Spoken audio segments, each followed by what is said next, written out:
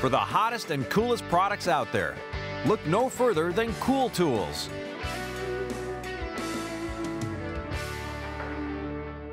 Ever get frustrated with the amount of wasted space in your refrigerator? With all the cartons of food and large bottles taking up way too much space, there's never any room left for that beverage you've been craving. We have a solution for you, and it's called Bottle Loft.